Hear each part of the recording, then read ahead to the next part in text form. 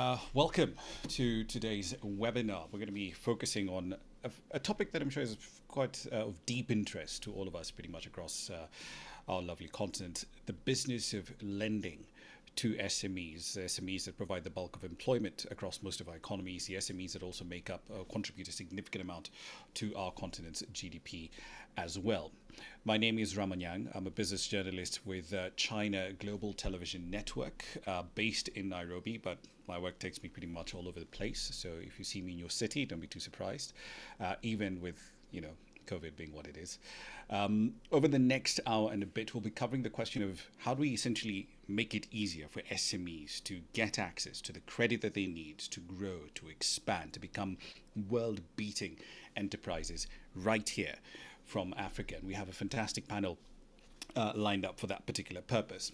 Before we begin, though, I'd like to go over a couple of house rules that we're going to be covering um, today. So, to begin with, uh, for all of you who are joining us in the conversation, I'd like to point out that we'd like to, to take part in this conversation. Your views are extremely important to us. So, if you have any questions, any feedback for our speakers, there's a Q&A section right at the bottom of your screen. You can use that uh, to essentially put in your questions, your comments, and your feedback, and we'll dip into those uh, as we go along. If you're having any problems hearing us, hearing our speakers, um, do let us know as well. Uh, there's a team that's what keeping a very close eye on the Q&A section. They will be seeing your content as well. Um, as always, with webinars, these conversations happen online and offline. So if you happen to be on Twitter, this is a hashtag that we'd like you to use. FIS Digital Events, FIS Digital Events, uh, if you prefer. Uh, that's the hashtag we're going to be using for, for this webinar, and of course, the many others that we'll be holding in the course of the months to come. All right, then. So that is the general sequence. Our housekeeping rules are pretty much in order. Um, just to give you a brief idea of how this is going to work, we'll start with a presentation, setting the scene, um, as it were, uh, from one of our panelists. Then we'll go into a panel discussion. You'll hear from uh, perspectives from very different uh, ends of the spectrum, from lenders, from SMEs, from people who've been working on the academic side of things um, as well. But to set the stage, I'd like to bring in Sharmila Hardy from IFC. Sharmila, over to you. Thank you. Thank you, Rama. So welcome everybody to this uh, webinar. Uh, so as Rama has already pointed out, MSMEs play a really key economic role in the global development. They contribute 40% of GDP in emerging markets. Uh, they are uh, they are the promoters of innovation, improvements in products and services, they are the channel by which uh, the poor and underserved actually get access to products and services. So they are the critical suppliers that link global supply chains. Or more importantly, SMEs actually contribute 90% of the job growth in emerging countries. And when you think about the fact that 3.3 million new jobs will need to be added monthly in emerging markets by 2030, the role that SMEs or MSMEs play is going to be very key. Uh, in sub Saharan Africa alone, 40% of households rely on SMEs, uh, meaning they have a household based enterprise for their main source of income. So, the investing in these enterprises can have an enormous impact, not only on GDP, but more importantly, on poverty alleviation and creating growth. The next slide, please. When you look at the large, uh, the SME funding gap across the world is pretty large. It's estimated at $5.3 trillion. But let's focus on Africa today. The sub-Saharan Africa funding gap is 331 billion, with over half of the enterprises based in sub-Saharan Africa saying that their financial needs are not being met. So why is that? What is what are some of the barriers to uh, financing SMEs? And you can see that in the next slide. Some of the key constraints faced both from a demand and supply side are information asymmetry. What do I mean when I say that? Basically, banks are looking for track records, they're looking for credit histories. And most MSMEs do not have this because uh, sometimes they are operating in the informal economy. Banks because the banks don't have this information, then they rely on collateral. And as we know, most MSMEs are in either trade or in the service type of industry, do not have collateral, uh, reals. And when I say collateral, they mean really it's, um, you know, real uh, estate is what they're looking for. So that really creates a problem for lending to SMEs. Uh, risk appetite. Banks don't naturally have a risk appetite for this. Uh, and sometimes, unfortunately, even the MSMEs don't know whether they should be taking on more debt. Uh, the high cost of funding.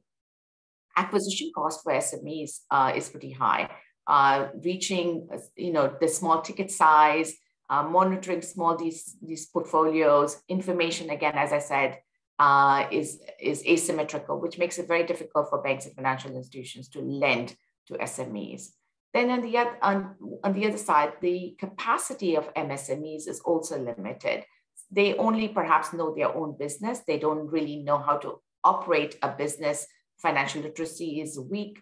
Uh, they don't may not have access to markets. They might not have access to good suppliers. So that can be problematic. And at the same time, um, the financial institutions themselves do not necessarily know how to serve this market, which is very different from corporate lending. So what do we, ha- what have we in IFC in the World Bank Group worked on in terms of potential interventions? Really focused on financial infrastructure. What do we mean by financial infrastructure? Is credit bureaus, which really helps in individuals create credit uh, history, track records, uh, secure transaction collateral registry, a fancy way of saying movables uh, collateral so that uh, it's, a, it's possible for SMEs to put to provide collateral in the form of movable assets. Uh, we provide medium and long-term debt uh, to financial institutions so that they can own lend to SMEs. Digitization, this is going to be key. This is the way that we can actually approach um, a larger scalability at a lower cost. Advisory services, both to banks and non-financial service to MSMEs is going to be important to help them achieve, you know, financial literacy, understand their business, and able to articulate the business need to the financial institutions. Supply chain finance, this is a really good way of actually shifting risk uh, from taking on the risk of MSMEs, but and then moving it to a corporate or a, a multinational sometimes.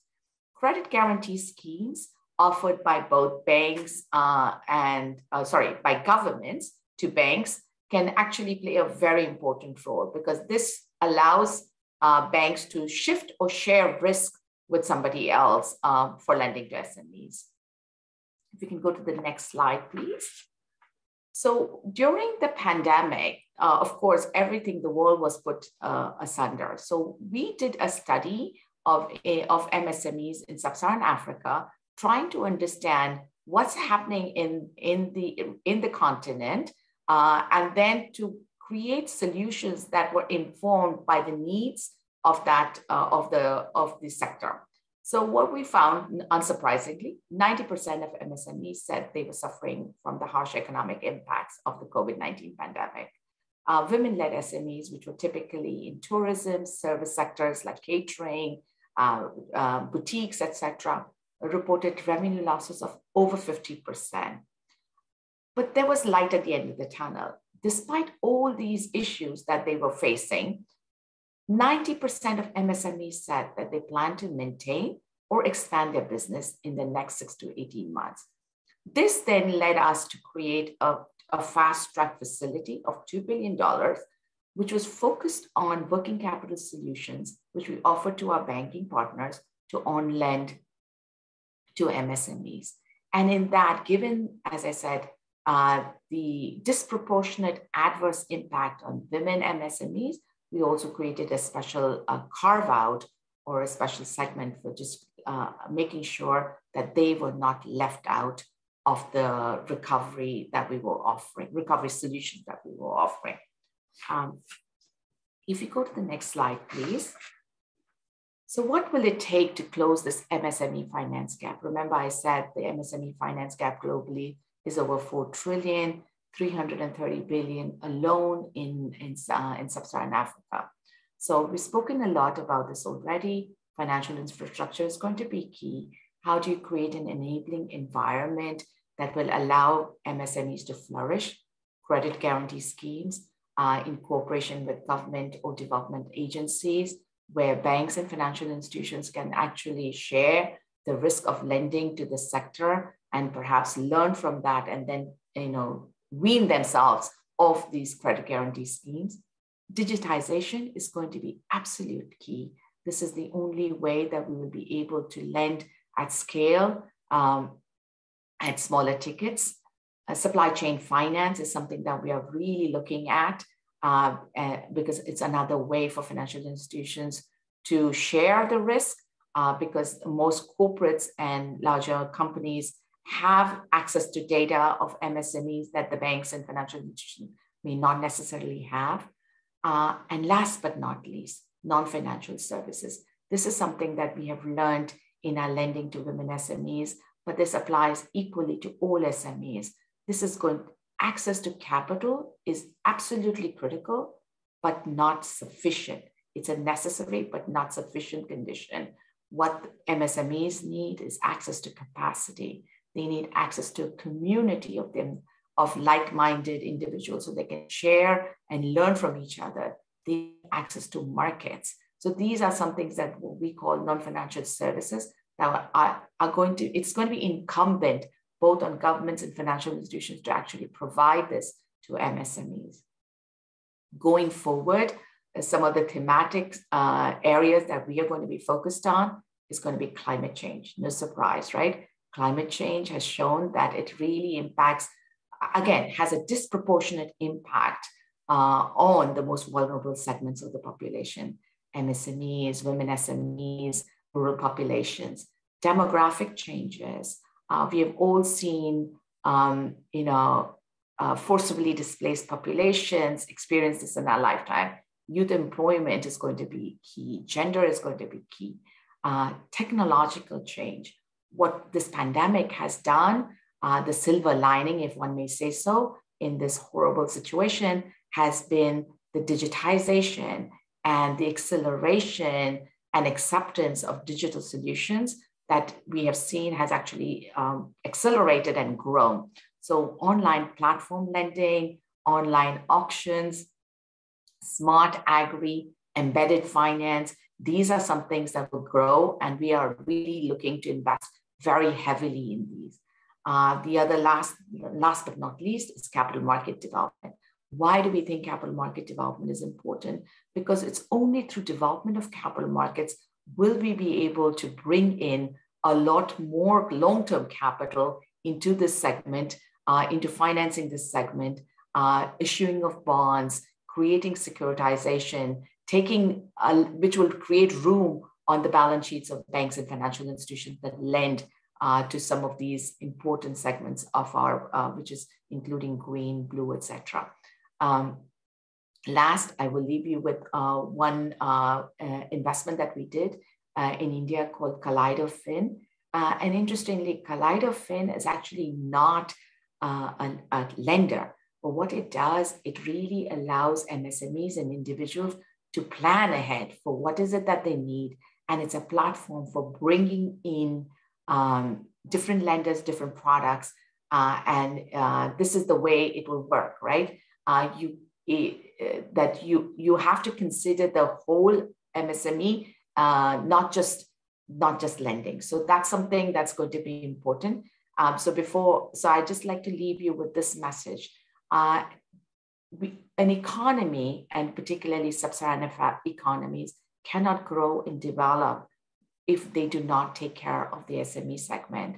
And it's really important and incumbent upon all of us to work together to find solutions to help this important segment going forward. Uh, thank you. And over to you, Tarama. Thank you. Uh, thank you very much, Sharmila. Uh, some very interesting data points uh, involved in that particular presentation. I've seen that uh, it's gotten a few requests to be shared uh, uh, among our audience. we'll, we'll certainly get around to doing that um, on the, the Africa CEO Forum website um, a little later on. Um, I'd like to get into our panel discussion. Um, Sharmila's done a fantastic job in laying out the scale of the problem $331 billion in unmet funding needs for SMEs right across sub Saharan Africa why aren't they getting the credit they need? Um, where should this credit come from? And just as important, what do we need to do to essentially make it a lot easier for that credit to flow? Uh, my panelists essentially right across the entire funding spectrum. So we'll dig into the, the discussion in a bit more detail. Let me introduce him to you, starting with Tyrus Mithiga. He's a group director at, of retail banking at NCBA Group uh, in Kenya. We also happen to have Philip Segwart, he's a group CEO at the Baobab Group. We also have Sokna Diop, she's a deputy managing director in charge of finance and strategy at CBAO Group at Attijariwafa. And finally, we have Constance E. He's the group chief uh, risk officer at the African Guarantee Fund. Um, thank you very much to all of you for making the time uh, for our conversation here uh, today. Um, Maimuna, perhaps let me start with you. So that that 331 billion dollar number that's that's huge.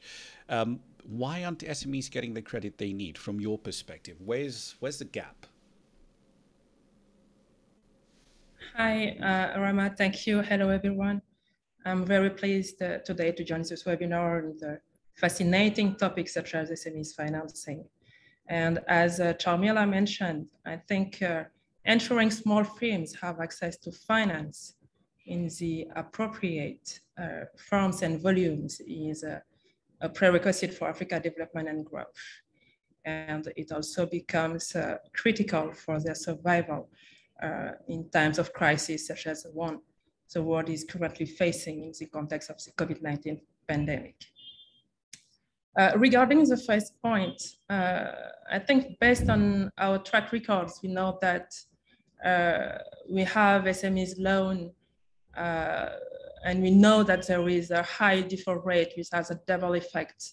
Uh, approximately 25% of our uh, market is in is non-performing loans. That means that one in four SMEs that uh, that banks are financing is actually facing uh, difficulties to pay back the loans. And on the other hand, we have the financing opportunities, as, as, uh, as uh, you mentioned.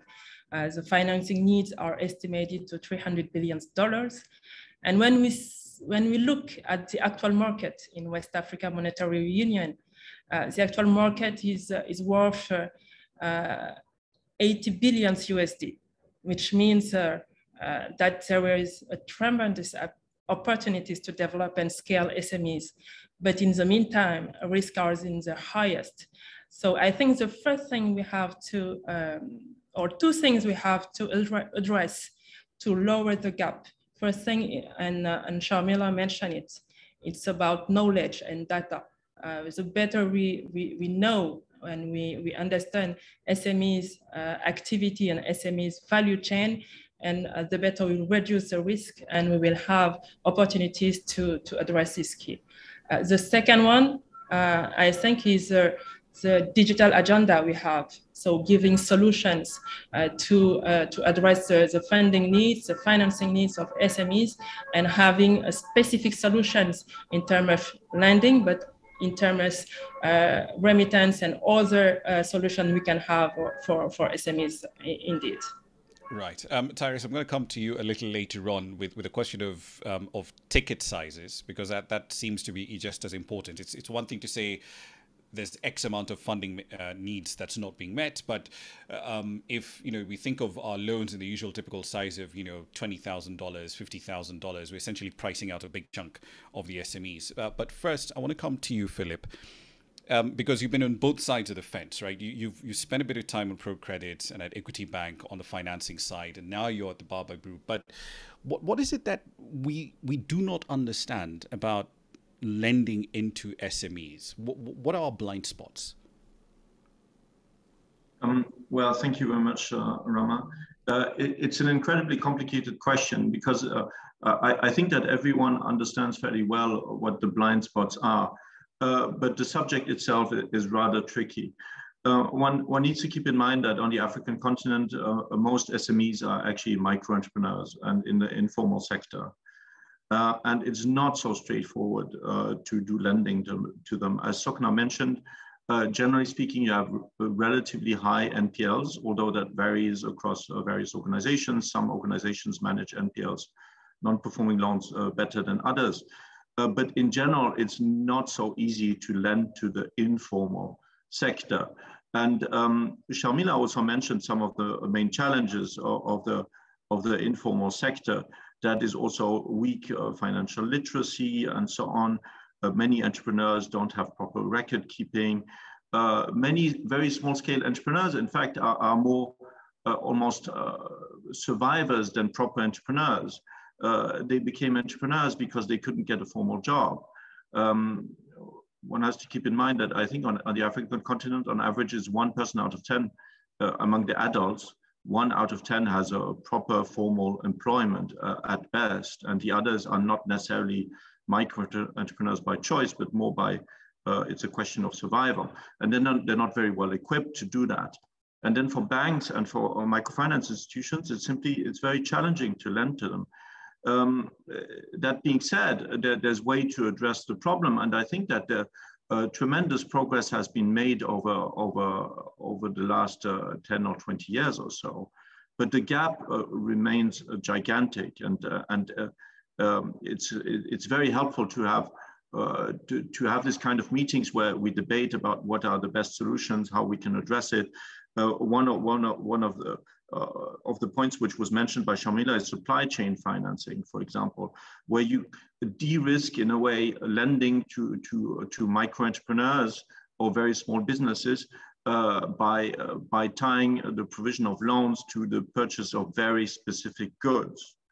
Um, like, for example, entrepreneur sells Coca-Cola um, in, his, uh, in his small shop around the corner, uh, his Duka or wherever that may be, uh, and, and then you uh, give him loans to buy, specifically to buy these uh, crates of Coca-Cola bottles. So you know he's buying Coca-Cola, the money is not being spent on betting on, uh, on uh, some uh, betting platform, but really to buy goods and to sell these goods. So that's a way to de-risk the transaction. Um, that's maybe one, one possible way to go. Then there's other ways. Of course, data is a very important topic availability of data, getting better data and so on.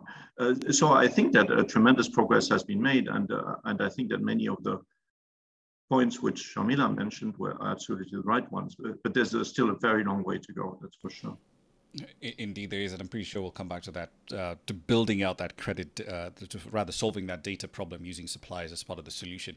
Uh, Tyrus, just for context for some some of our audience who, who may not be familiar with what NCBA has done um, across East Africa, th- this is a bank that, in, in, collaboration with one of the large telcos here, Safaricom, um, built out uh, a lending and savings product called M-Shwari in this market that had roughly 10 million customers and I think 1.5 five billion dollars in deposits. I don't remember what the loan number was uh, in barely two years, right, of it rolling out. Um, so, Tyrus, given your experience um, in our market, lending those small ticket items uh, into the market uh, virtually every day, because your typical loan size is around thirty dollars or less, right? How are you managing that that that risk and that demand for lending to SMEs? No, thanks, Rama. I, I think, uh, firstly, I'll agree with Philip. I think tremendous progress has been made. Um, and I'll go back to the question that um, uh, Maimuna handled. And, and I do wonder when I hear about the gap of 330 billion, how much actually credit has been provided? And I, I would guess it's probably three, four X. But anyway, um, M-Shwari has been, I, I think, a fantastic, I think, example of how to pick up on Camilla's earlier points around digitize um, and find an efficient way of delivering um, credit to SMEs. Um, it's, it's hard to know from our end how many of our borrowers, uh, we do about 40,000 tickets per day uh, on the M-Shwari platform. Um, it, it's hard from our end of the business to know how many of those are SMEs and how many are not. But our, our rough and dirty split, we think it's two thirds of that is, is actually financing business. From other data points that we have, uh, we know that a lot of small business people are uh, accessing credit through that uh, you know, you, you, know, portal because they get paid through those uh, wallets. And so we allocate limits around that. Um, a more interesting solution that is also on the back of that uh, M-Shwari is, is, is an overdraft, is an instant overdraft service called Fuliza. And Fuliza is an even more interesting. We do about 4 million uh, transactions a day where we are we're issuing instant overdrafts based on a wallet uh, to fulfill a transaction at a, at, at, at a trader. Usually person to person is also uh, obviously covered. But what we found is that a lot of the transactions, when the telco that you referred to came to us, they had found that a lot of the transactions that were failing, 90 over nearly 90% were because of very short, very small shortfalls in wallet balance versus the transaction that the customer wanted. So if you think about it, that's that's in a in a in a reverse engineered way, uh, supplier finance. You know, we're helping the SME fulfill a trade without actually lending to the SME, but by lending to the individual. How has it worked? I think it's it's it's data. Uh, we, we're able to see where people what are what what are people saving, how much are they transacting, what are they uh, um, are saving, uh, how much of their inflow is going out, and therefore allocate a limit, and then that limit is enhanced as they continue to behave well uh, on the platform. And I think that dynamic, agile limit assignment as the customer ages through the platform, I think has proven a, a good success, which we are now replicating across um, our other presence markets in Ivory Coast, in um, Uganda, Tanzania, and Rwanda and I'm pretty sure we'll get back to that to, to that to that to, to the lessons from M-Shwari and Fuliza a little later because the, the, question around what you pointed out how how much data is enough data right to assess the risk of a client? And, and Kenya to some extent is a bit of a bubble and I'll acknowledge that up front because um, Safaricom the telco you're working with is is, is dominant in the market, right? So it, by virtue of that fact, you've got one single point that you can essentially have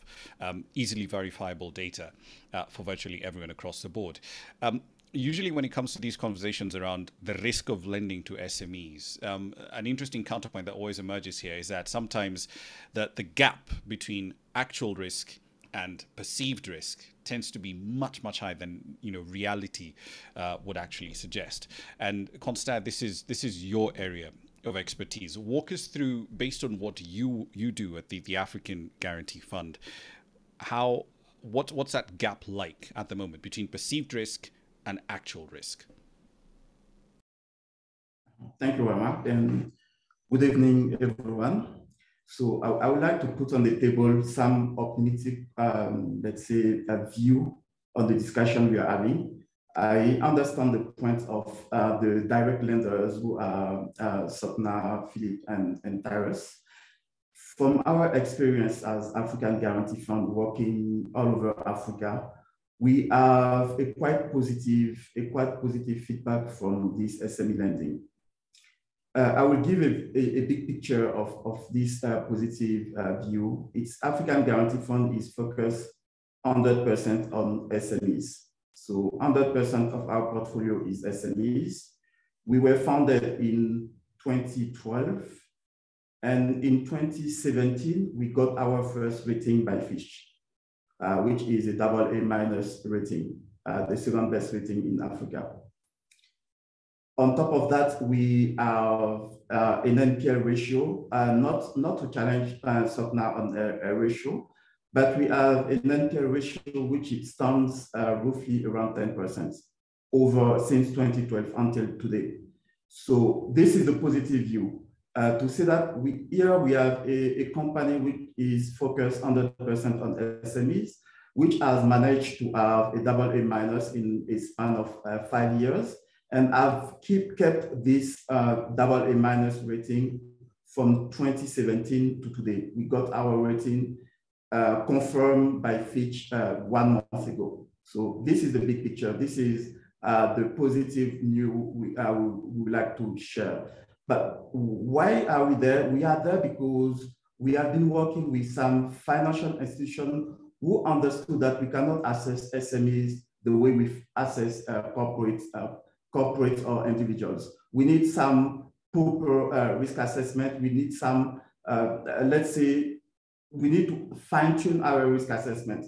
And working with such kind of FIs will help us to select the best SMEs or the the SMEs which are ready to have access to finance. Another way we have been doing that actually on the ground is uh, what we call preparedness of SMEs.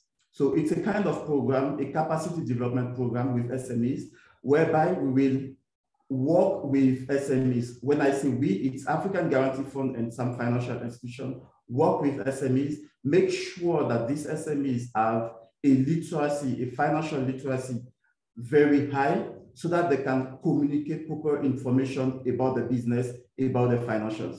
And it's only after this financial readiness that the SME can have access to financing. And when getting to the portfolio of the PFI, we are at uh, this such low or let's say acceptable non-performing uh, loans level. So we on our side, we are quite optimistic based on our, let's say, 10 years of experience.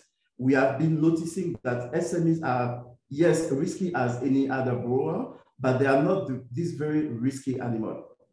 The double A minus rating is there for that. And also even our NPL ratio, which is there. And on top of the NPL ratio, we also have something I would like to stress on is the claim ratio. It's a bit technical, but what does it mean? It means that an SME can be in default, but the financial institution will not consider that the recovery is over. The financial institution will continue to recover as much as possible before coming to AGF to call for the guarantee. Why? Because this financial institution understood that the main constraint of the SME is a liquidity constraint.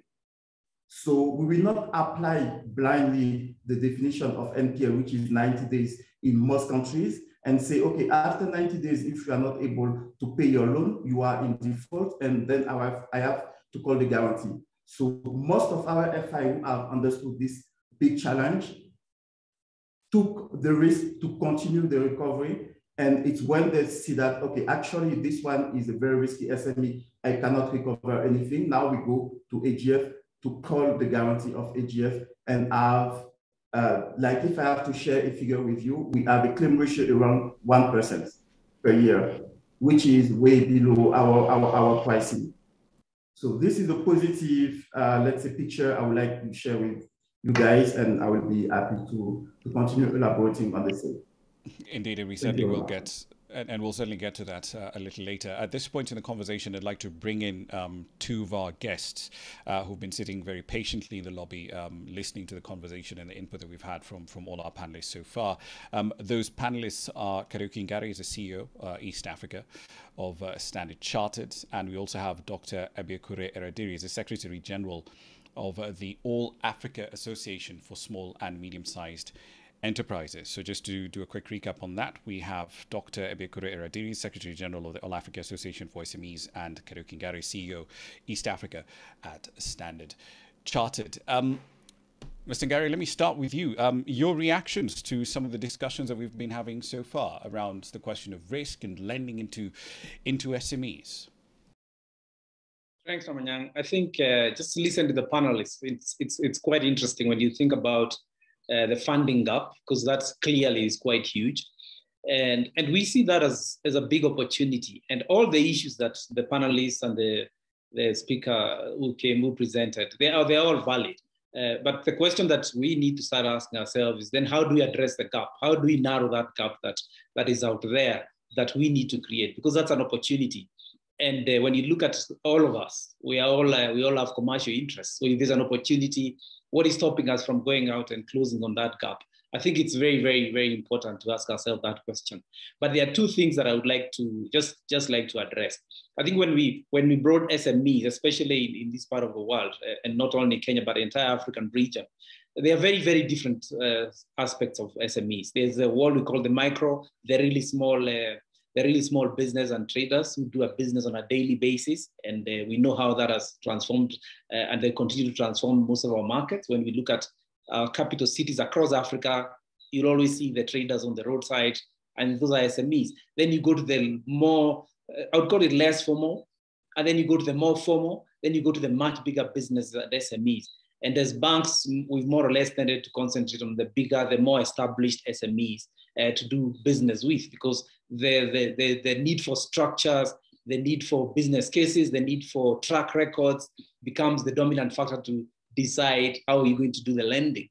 Um, however, we see an opportunity at Standard Chartered. We see an opportunity. Technology is coming in. You can actually use technology to do a lot more with the SMEs, and I think that's going to define in the next couple of years how you're, you're going to start seeing lending taking place. That the use of technology and alternative sources of data to make the, the, the decisions. For instance, you could be a supplier to one of the big uh, one of the big corporates there is data there because that means you've got you're supplying your goods you can be able to track the the the, the movement of those goods and that could be an opportunity to to to to, to finance that kind of entity that is one area and as because all these smes are interlinked especially when they've got the, the bigger companies they're supplying to or buying from or they are or they are distributors for that becomes a big part that we can say actually you can be able to do this without asking for the SMEs to give you loads of track records of data, but you can easily be able to get all that data from the distributor, the main company you're distributing for. And that way technology can help you to do to be able to do that. And then finally, use of blended finance. How can you work together with other uh, maybe long-term partners who want to invest for the long term, and the bank would provide the short-term, uh, whether it's trade products or whether it's short-term financing, overdrafts. But then there's a longer term, like uh, that's what most companies would be doing, whether uh, financial institutions that do it for the long term or private uh, private equities. So it's all a question of looking at different mixes of financing, but understanding the SMEs from where they are, and then you help them to, to try and structure them in a way that you can make financing viable and then technology will bring all that together for what you need to do. Well, Constance is on the call, so I'm pretty sure we can we can organize a sidebar chat uh, between AGF and Standard Chartered on that front.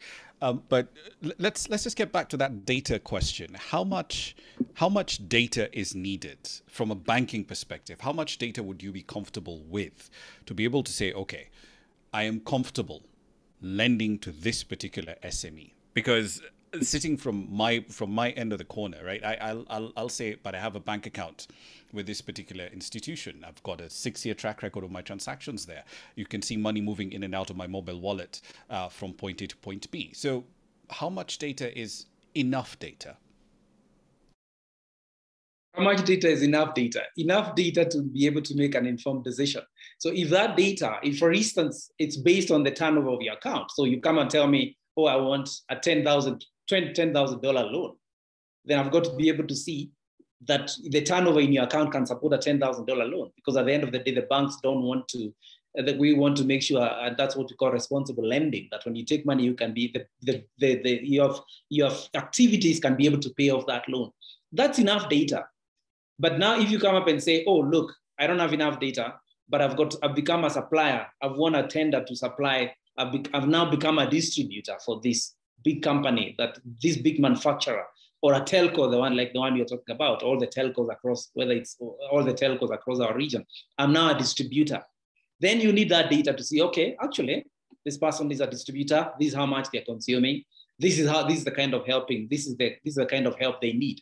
That's enough data. I don't think you'll see banks shopping around for a lot of data because additional data won't help you. It's either the data coming through your account that's why the bank statements are always required. There's no other data, or you're dealing, you're working with a supplier, or you're a, you're a, you're a supplier, you're a, you're, you're a distributor of a major telco or any manufacturer. That's the other source of data. Those two data points are enough. Okay, one last question for you before I let you go, and then I move on to, to Dr. Adiri. Um, from from a regulatory perspective, um, and, and I know in in some respects um, in East Africa, perhaps we've gotten a bit of uh, leniency from from our regulator. They, they essentially tend to be a, a, bit of ahead of the curve uh, in essentially allowing institutions to try out new ideas, see if they work, see if they don't work. But from a regulatory perspective, what would be on your wish list to make it easier for you as Standard Chartered to lend to SMEs? I think there, there, there, are several. I think one is definitely pricing for risk. You've got to be able to price properly for risk. And the SMEs, just like individuals, have, have very, very different levels in terms of the pricing. So if you're able to say, based on the business that you're doing, when I look at the data, I should be able to load X percentage in margin. That I, I price it well for risk. I think that that can be a that can be a that can be a game changer because then, then that allows even the riskier SMEs or, or MSMEs to be able to access credit and you price it accordingly. And then you also make sure that the, the better borrowers, the better SMEs, are not subsidizing the riskier borrowers. That can be that can be one way. Uh, there's a lot of progress has made, it, made in Kenya, as you know, with risk-based pricing. Uh, that's still that's still work in progress, but that's an excellent way of saying how do we expand the space by having risk-based pricing. So you are approach you're, you're approaching it from a risk perspective. That's that's one very good place to start. All right. Uh, Kariuki Ngari, uh, CEO at Standard Chartered for East Africa. Asante Sana, thank you very much uh, for your time. Um, Dr. Eradiri, if I may come to you. So you represent the All Africa Federation for Small and Medium Sized Enterprises. You've been listening to our conversation uh, 30 minutes in. What are your initial reactions? What stood out for you? Thank you very much, uh, Rama. I, I bring warm greetings to each and everyone down here. Um, it's been uh, quite an interesting conversation up till now. Uh, let, let, let, me, let me digress. I want to take a different view to uh, the situations before us. Um, for, for Africa, we must begin to demand for a new finance recipe. For the last um, 70, 60, 70 to 80 years, we've been going about it the same way, the same regular Western approach to finance. And for Africa and Africans, it's not, it doesn't seem to be working for us. So why should we continue having the same approach and then not getting the results we want? In, in another balance, it would be stupid or it would be foolish for you to do the same thing the same way and you're not getting the same result, yet you are still carrying on doing the same thing. Now, let me put it this way. I think that the Western, Western template for, uh, for finance uh, is difficult for African SMEs to, to meet. And so uh, what, what we are campaigning, the, the conversation here is that we should have an alternative. We're not saying that you should take, you should throw away in total uh, the foreign colonial approach uh, to finance for, for SMEs. We're not saying that, no. But we are saying that we should begin to reconsider a new approach because if you want our SMEs to, um, to access finance year in, year out, then you have to make the, the, the finance Afrocentric. Um, what, what we have seen in the years in the years past is that there are finances always available for SMEs for Africa, but the SMEs are not able to, I mean, from January to December, the SMEs are not able to access, and the same funds are, are, are returned and then brought back in the new year. And it doesn't work that way. Um, let, let me apologize firstly for my, uh, my, my I'm, having a technology glitch, and so my, my, uh, my videos are not coming up. But the issues are germane, and what, what do we need to do about this? We need to have our DFIs. Uh, what, what, would, what would I, what do you, would you want me to call it? We need to have a fit for purpose DFI for Africa and for African SMEs if we are talking let me, let about jump in briefly there uh, so there's there's an interesting question um, roughly along the same lines that you have here from from some of our audience. Uh, this is from Wamate Jones Idiko and he's basically arguing that perhaps lenders should consider lending to SMEs through business membership organizations. So essentially it would be your lending uh, base or rather your quote unquote collateral would essentially come through the fact that you essentially have this business organization that's willing to stand in and act as a sort of guarantor, which sort of fits in with uh, our, how essentially our societies have worked for a fairly long period of time. Are those the sort of ideas that you'd like to see more of in the market? Exactly. Um, incidentally, Mr. Womet uh, is, is part of our organization and he knows our thoughts, and that's correct. We want BMOs, uh, business membership organizations, to uh, as it were, be the platforms to engage because most of our SMEs in Africa, as you know, are informal. And so by the time you set your templates uh, for uh, uh audited accounts, uh, statement of accounts for, the, for six months or 10 months or a year, they can't meet it. And so we must have a new recipe. And, and, and, I, and I agree with uh, Mr. Womet because that, that is the, that's the, that's the, the voice we are, we are leading. We're leading a new voice for that to say, let's have a new recipe. And then the next thing I should be talking about here is, you see, DFIs for Africa need to have a service policy review. Very important. You know, if you check, if you, if you have a critical look at what they have been putting out to us, it's been rigid. They've not rejigged it, they've not reviewed it. So we want them to have a review to it. It has to be friendly enough if our give SMEs us, have us, to access it. Give, give us some details on that because someone would argue that look, we've got you know the Southern African Development Bank, you've got the East African Development Bank, there are all these homegrown DFIs. What is it that they're not doing right at the moment to make it easier for money to flow to SMEs? Unfortunately, uh, they, are, they all still operate with a standard uh, operating procedure, an SOP that is Western based. Unfortunately, we need to grow our own template here in Africa, a template that can speak to Africa, a template that understands the, the, the issues of Africans. Now, I tell you this you are an African, and so I will give you a scenario that you should understand. Every African is, is communal. They are from villages, they are from communities. And in some villages and communities, people from a particular family are known not to tell lies. They are known for a particular profession that they have gone through for a number of years from their, their forefathers and all that. So, what am I talking about? They may not have the regular Western template of meeting um, uh, audited account statements before they are giving uh, finances and all that, but then they know their trade. They know that by 2 a.m., if they go fishing and they throw their nets at a particular point, they will catch fish. They cannot explain it to you. So now, what do you want to do about those kind of SMEs? Do you want to financially exclude them? So this is what we're talking about. Our SMEs are different from SMEs in other parts of the world. And so we must have a finance policy that is Afrocentric. It has to be able to connect with with, uh, uh, with, the kind of things that happen in Africa. We're talking about African solutions for African problems, isn't it? We're talking about an AFCFTA that's supposed to succeed with SMEs as the engine room for that to succeed. And how can that succeed if the SMEs do not have access to finance? And how, how can the access to finance be the Western template for an African situation that we have to salvage? All right, let me let me bring this let me bring this back to to to regulatory issues because you know Dr. Uh, Kariuki Ngari earlier on was speaking about um, risk-based pricing being allowed by regulators. But from your perspective, how then do we fit in this idea of communal lending and bringing that that sort of cultural nuance into the lending space? How do we get that integrated into what our regulators have to do? If you're pitching this, for example, to say Dr. Emefiele over at the CBN, what would you tell him to do? Well, one of the first things I, I, will tell him, which I have done in any case, um, about four five years ago, uh, we had the, the engagements with the vice president, vice president then of uh, Federal Republic of Nigeria. And what was the issue? Ease of access to finance for some funding for SMEs. And what are the, the issues then are the same issues that cut across Africa and they still exist. Not all SMEs, uh, financial literacy for all SMEs are not equal. And so one of the first things you should be talking about here is to say, okay, fine. Can we have the BMOs to access funding? Can we have cooperatives? Cooperatives can guarantee each other in order to access finance. Can we have other more friendly templates? You know, what about taking away altogether the issue of collateralization? Today, we're beginning to talk about um, uh, movable collateral, which is fair enough. That in Nigeria, that came in as an intervention that we brought in.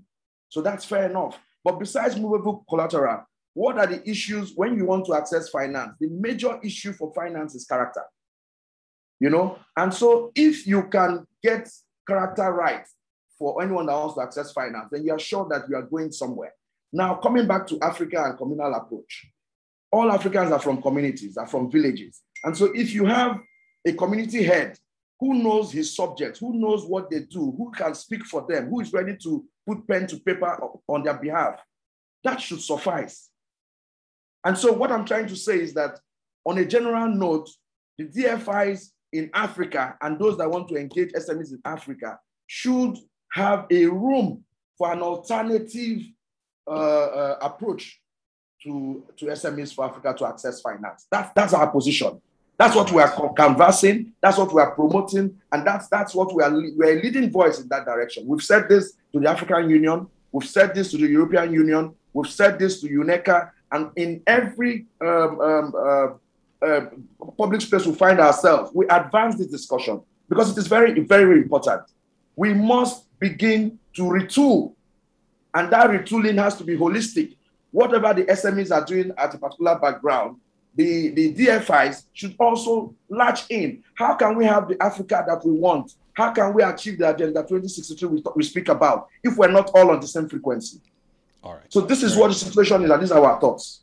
All right, Underst- understood. Dr. Ebiakure Eradiri is the Secretary General of the All Africa Association for Small and Medium Sized Enterprises there, uh, with an interesting perspective uh, with respect to the question of communal lending. Um, so let's get back into our panel discussion with our four panelists here uh, Sokna Maimuna Diop, uh, Taris Mithiga, Constant Z, and of course, uh, we also have Philip Sigwart uh, in the conversation. Um, Philip, um, you've been listening into the conversations with our guests. What what stru- what stood out for you there? Uh, thanks, Rama. Yeah, I, uh, I found it in- incredibly interesting, and I must say that a lot of very in, uh, important points have been made.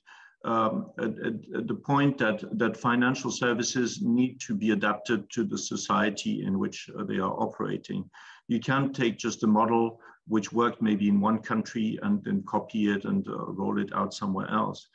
Um, and it's true that on the African continent, which is still largely uh, a rural society, many people live in villages or grew up in villages and um, and uh, the community plays a very important role, probably more so than in, in, in Western Europe or the United States. Um, that that uh, that finance needs to, to, to be adapted to the way how society operates. To some extent, this is being done in microfinance with group lending. Uh, to some extent, and and uh, some banks and microfinance uh, organizations have been incredibly successful in rolling out group lending, which, by the way, was developed uh, uh, more in Asia, in in Bangladesh by uh, Dr. Muhammad Yunus, uh, but uh, the society or the way how society operates in Bangladesh in rural areas is not so different from the way how it operates in Kenya or in Nigeria or in other places. Um, and uh, I think that this is uh, something that uh, that that definitely works very well. I think to some extent maybe um, not enough has been done been done in that respect to to see how how group lending can be made more efficient, more effective, and so on. There's also the concept of chamas in Kenya, for example. Chamas play a, an incredibly important role. I think that everyone in Kenya is member of a chama somehow. And uh, in, in Francophone West Africa, these are the tontine and so on. So, so uh, I think these are definitely ideas which should be explored and adapted uh, uh and, and taken on by the financial sector. Uh, I tend to agree that um, that banks in a way when they started operating on the African continent. Uh, many, many of the banks which started operating were established at the time when, uh, when, uh, when most of uh, the African country, countries were still colonies. So they just took this, uh, you know, this colonial template in a way and, um, and implemented it in, in, uh, in, the countries of operations. And it's, it, it needs to be adjusted in a way. So I tend to agree with the comments of Dr. Ebikure um, uh, completely Dr. agree with that. Yeah. And I took note of it, and uh, I would think myself uh, how we can, at uh, Baobab Group, which is a microfinance group, how we can uh, be, uh, roll out, you know, products which are more adapted to the, communities in which we operate. Uh, Sokna, how how do we how does how do we retool banks for that group lending approach? Because I mean, I'm I'm just sitting back and, and thinking about the the, the the the technical challenges involved in pulling that off. But you know, how do how do we make it a reality instead of you know us having this conversation here in this webinar? We we actually roll it out as a product say in six or nine months. Yeah, yeah, yeah, Rama, and um, I think it's uh, it's interesting. Um, uh, just uh, what Dr. Era Eradiri mentioned about uh, community and uh, and uh, having a good knowledge of of SMEs and clients. I think for us, uh, what's important for us is uh, at the bank is to understand the, the, the, the whole ecosystem of SMEs. Uh, to, to, to understand with, with whom they are dealing with, that means their clients, their suppliers, um, the competitors and, and have a good knowledge of, of uh, on all the, the, the value chain uh, and their sector and, uh, and, and, and understanding actually uh, having a good good understanding of, uh, of their so of their activity.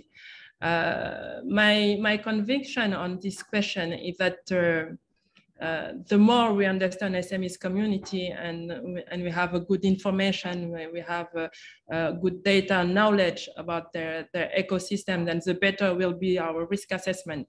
And, and we, we have actually some alternatives. Uh, we, are, we are putting in place some alternatives in our, our models and our risk assessment to uh, to to take into account this uh, this community or I would say this uh, ecosystem knowledge uh, in in our ability to to to, to address the SMEs financing needs.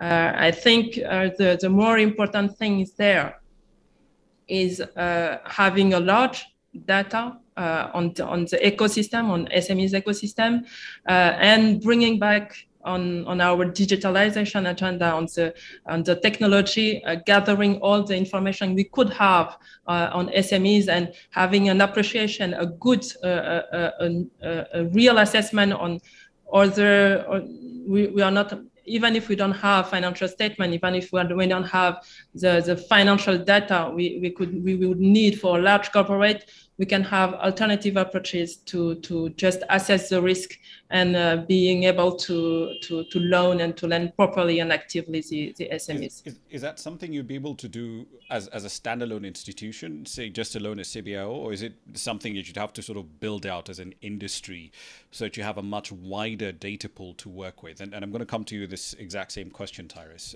Absolutely. I think the, the, the, risk assessment can be addressed individually in banks. I think uh, risk appetite is something that banks have to work on on the single basis. But on the other on the on the other end, uh, we need on the market to communicate, uh, to have this kind of credit bureau where we can share information about our clients and that would reinforce the information and the risk assessment and data we have on, on the market and on SMEs. And I think this will be able to uh, to, to, to have more confidence and have more information when, when, when it's, uh, it, in, it comes to, to financing SMEs indeed.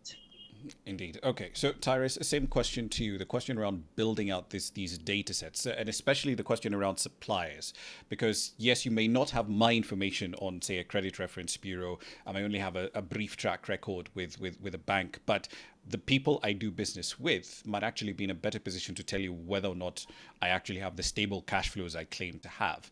Um, is that the sort of product that you might build by yourself as NCBA, or is it, or should that be an industry-wide effort?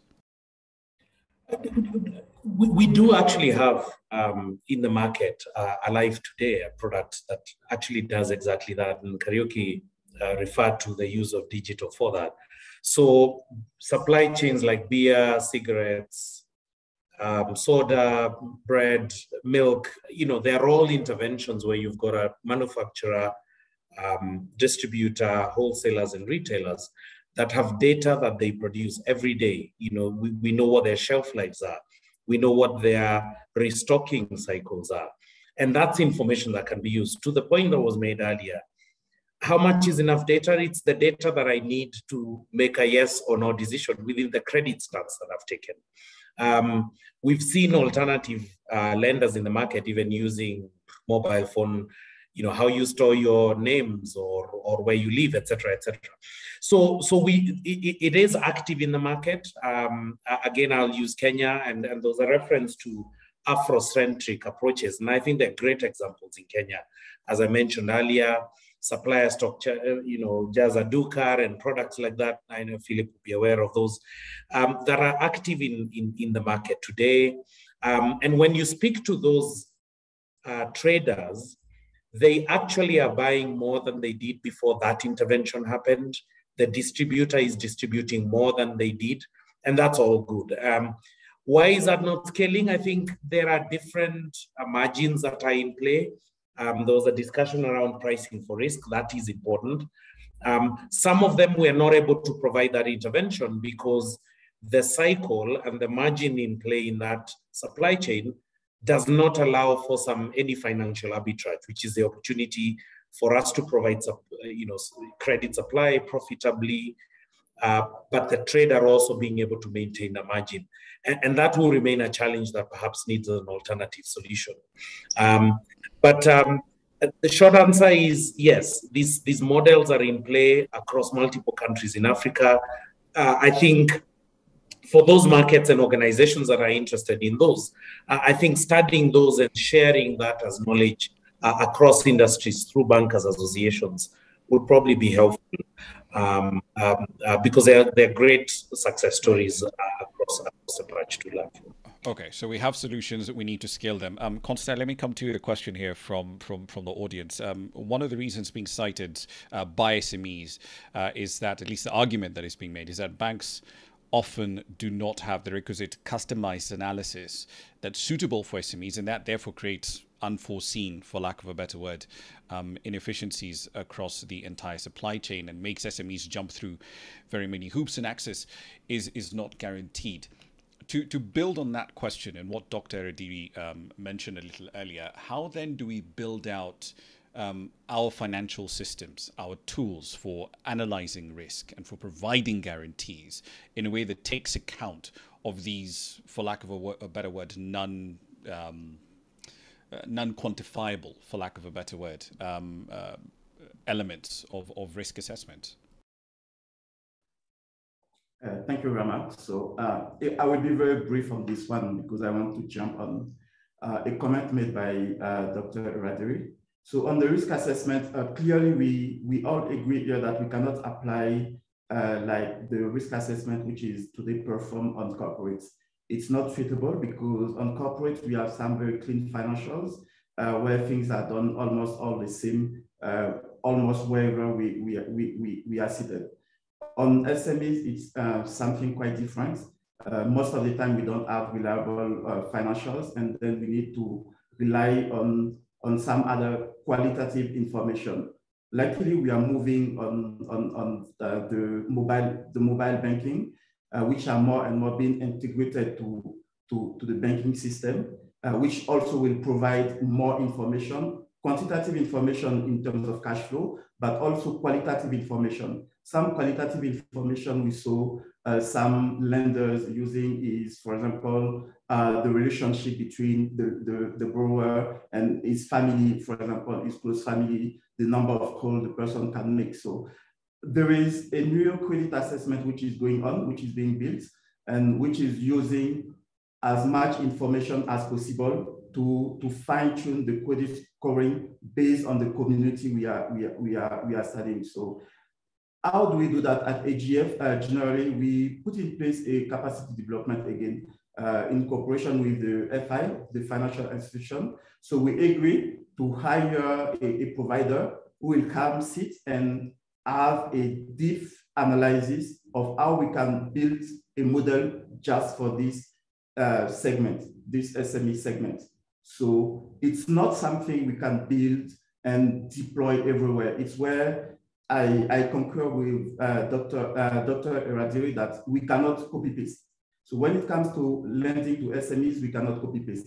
It's uh, a learning process on the ground, and each financial institution has to make its own assessment. So on this one, we, we are very uh, open to work with any financial institution to contribute as part of uh, one of our products because uh, most of the time when we talk about African Guarantee Fund, people will think about guarantee. But guarantee is one product, but one of our main product is capacity development, where we, we, we work together with the FI. NCBA is on this call, and we, we were very happy to work with NCBA to put in place the, uh, this kind of, of solution to, to help, uh, uh, let's say, um, improving the, the, the risk assessment on a certain segment of, of SMEs. The reason why I wanted to jump on a comment from Eradiri is the implication of the FIs. Here we are talking about the financing of SMEs, which is something very local because of all the risk assessment we are talking about. So it's very local, and when it's local, we need local players to be the end lender. Uh, we cannot ask uh, AFDB or I don't know, all these big players to lend to SMEs. They can put in place some chem, uh, like what they did with African Guarantee Fund, to help the final lender to lend to the SME. But when it will come to lending, the local player has to play its role. And the resources are here. You know, when we take the 50 top banks, the, the first 50 banks in Africa, they have a total equity of 125 billion. So with the 125 billion, if you want to apply the leverage, you will, they will have a capacity of 1,500 billion. And the loan book is only 800 billion. So we have a financing resources available only with the 50 top players in Africa of 700 billion, which is more than two times what we are talking about here. So the resources are present and what we need or what the DFI needs to do on this SME lending is to help to, let's say, create the condition to lend. So give more guarantee because one of the issues is the collateral. We replace the collateral by the guarantee and also build the capacity of SMEs to help them to have more bookkeeping, to have, a, let's say, clear financials and, and so on. So this is uh, the point I wanted to stress on, on top of the risk assessments. All right. Um, I know we're essentially running close to the clock on this one, but I want to, I want to wrap up with, with a focus on the question around um, guarantees and how this might change lending behavior or not. There's an interesting question that was put in in, in the chat a little earlier from Samuel Shidorov.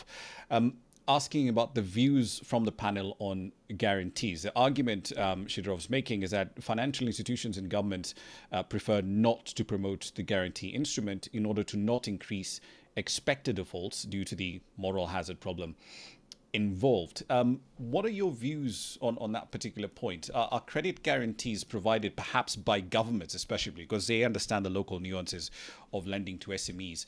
Are those guarantees working as they should? Uh, Sokna, let's start with you, then Tyrus, then Philip. Yeah, thanks, Rama. Um, I think regarding the guarantee schemes we can have from uh, government. Um, the, the big issue now uh, when, when looking at uh, the, the land, not our, our lending approach is that we cannot base only on, on collaterals and collaterals that has been given by, by the, the government. What we first look at is the, the SMEs uh, I mean, the, the, the, vision of the SMEs, the activity of the SMEs, the, the capacity of the SMEs to, to, to bring cash flows and, and to be scalable, actually. And the, the question and the matter of, of collateral is not uh, something that we are putting on the balance when dealing with uh, with credit uh, credit reports when or dealing with credit uh, assessment actually. This is the, second question but the first question is just the viability of the, the enterprise.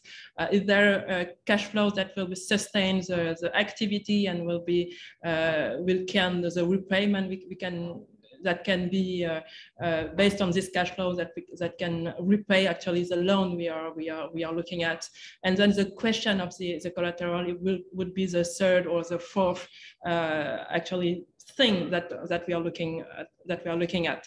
So that will help. Uh, of course, it will help on the, the, the, the, risk assessment and our our our analysis of uh, analysis of the, the, the credit, but it's not the, the key point uh, on what we, we are looking at. All right, then. So guarantees not the key issue there. Um, Tyrus, no. your perspective on, on, on guarantees, um, how are they working out in the, in the East African context? I, I, would agree. I, th- I think, do they help with access? Yes, they do. Um, do they work to underwrite risks?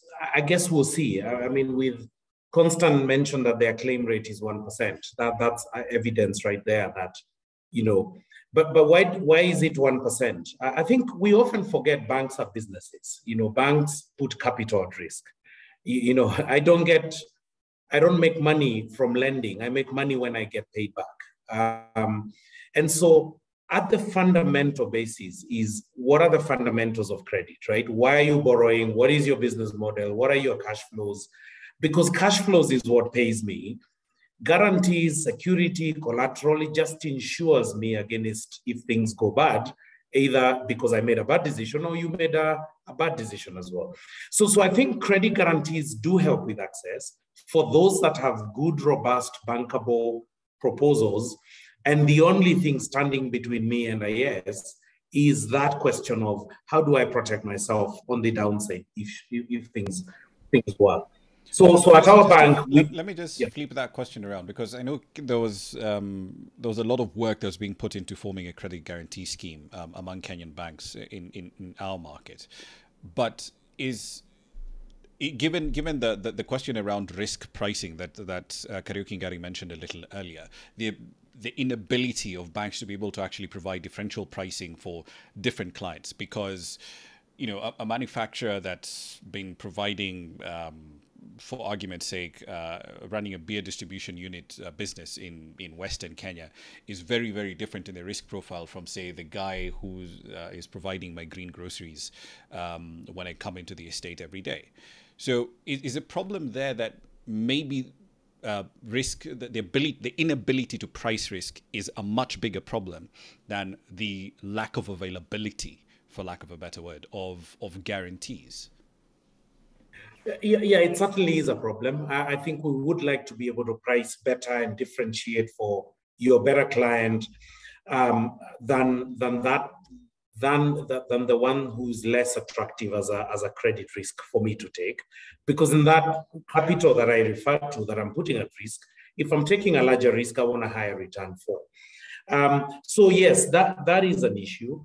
Um, how have the credit guarantee schemes work? Our, my, our experience in Kenya has been that um, uptake has been lower than had been initially anticipated because we still need to make good, robust credit decisions in the first place. And, and so what are we doing to, to help with that is, uh, as the point that has been made earlier, is help that client to structure their turnover and accounting better. We're spending a lot of time to teach business people about cash flow management and it's quite surprising that people who've been in business five, ten years are attending seminars and, and thinking, okay, I didn't think that about my cash flow. How should I manage my debt cycles? Um, how do I balance my credit and my debt cycle so that you know I, I, I generate enough cash flows and what have you? So I think the credit guarantee schemes do help, Rama. Um, uh, certainly with supporting those clients with good proposals that are really struggling in the ultimate decision point for how do they secure their overall exposure. Larger customers are obviously are not, uh, oh, sorry, one more point I want to make about credit guarantee schemes. The biggest challenge we've had as well is that moral hazard. You know, there's there's this perception that because the government will pay, you know, well, I, let me just take a punt, I'll see what I can get, and maybe if it works, I'll pay. If it doesn't work, I know someone else gonna pay. That has been a major challenge because it, it, it's not a social scheme. It is meant to support the growth of enterprise. And so a lot of the work we are spending is first educating applicants who want support through those credit guarantee schemes. Uh, what the, the, the, the, the, success criteria, what the um, um, qualification criteria, what is the sort of credit we are supporting, and which ones are we not supporting. Um, uh, and, and, so we're getting some success with those. Those that then access that now understand that this is an umbrella that protects my access to credit. And so my continued good behavior under it is probably going to sustain me accessing it. And that's a really key point. Um, I think they will work if those who are accessing it are well educated. That um, it, it's it's in the same way I buy insurance for my car. I don't go crashing and banging at everybody on the road because somebody else is going to pay. I've got to protect the franchise for which I'm borrowing. That really is where the key is. Uh, Philip, your views on, on credit guarantee schemes, especially with respect to, to the market you operate in, microfinance. Uh, yes, well, uh, I agree with everything that Tyrus has said and uh, what uh, what the others have said before. Uh, it's just one piece of the puzzle. Uh, I think that there must be many bankers in the audience, and everybody remembers the, C the three C's of credit analysis, which is character, capacity to repay the loan, and, and collateral. and collateral just plays an element. the guarantee can replace part of the collateral. Uh, but it's not it's not the key decision making element. Uh, uh, the, the, character and capacity to repay the debt are, are absolutely essential. Um, so I agree with everything that Tyrus has said. Um, no, nothing nothing to add to that. All right then. Um, we're closing in on what 6:15 uh, p.m. So um, at, at, this point in time, you consider we've been running for the better part of an hour and 15 minutes. Uh, it's been a fascinating conversation from from all our panelists. I'd just like to get to give them the opportunity to essentially put in their their, their closing views. What what is the one thing that we should take away from this conversation around SME financing? What what do we need to do so we have this conversation? Next year, we're not talking about a $331 billion funding gap. Uh, perhaps we're talking about something that's half that number. Um, Sokna, you get the first word. Yeah, thank you, Rama. Uh, I think there, there is one thing we have to uh, to get in mind, and uh, it will be the takeaways. Uh, we talked about SMEs, uh, and we know that SMEs is, is a large uh, perimeter, actually, a large market. We are dealing with micro enterprise, small, medium enterprise. And I think the, the, the one advice I think I, I would, I would give is that we need to help um, uh, in that uh, the improvement of the state of SMEs financing, we, we, we should uh, help SMEs to, uh, to impact Uh, and to scale uh, more and to reinforce in, in terms of capacity. Uh, so they, they will be able to, to, to access new markets for their products. They, they will be able to be successful and sustainable. And this will help actually uh, to, to, to narrow the gap. Uh, if, if we help them developing their activities, if we, we offer them uh, some content in terms of training, in terms of uh, mentorship, in terms of building their, their businesses, they will be stronger and they will be in, in a better position to, uh, to, to, to have the loans uh, banks uh, bank, to, to actually uh, uh, get the loans and, and, and, and scale and, and develop themselves. So, so really building capacity and helping them to more to get more formal, to, to give data to, to, to banks and, and to, to be I mean, really on the banking system and bankable will be will help to to, to narrow this gap on, on financing. Indeed. Um, Constant, your views? Thank you. Uh, so my takeaway will be uh, we have to build capacity. Uh, build capacity on the SME side and on the FI side uh, to make sure that we have enough in information to assess properly the risk of the, um, the SMEs. Because what we are discussing here is uh, about the viable SMEs when we talk about financing SMEs, it's SMEs which will uh, contribute uh, to the GDPs of our, our respective countries. So we have to build them. We have to make sure that they have the necessary uh, input to deliver what they intend to deliver. So capacity building on, on SME side, capacity building on, on FI side, and also uh, the positive things is we are, we are doing things. Uh, when we see the panels, um, each of the panelists are doing something on SMEs. We are moving at AGF side, we unlock $2 billion in 40 countries in 10 years, which is something. It's far from the two and uh, the 300 million, uh, billion, but it's something. It's moving fast. The needs is moving fast.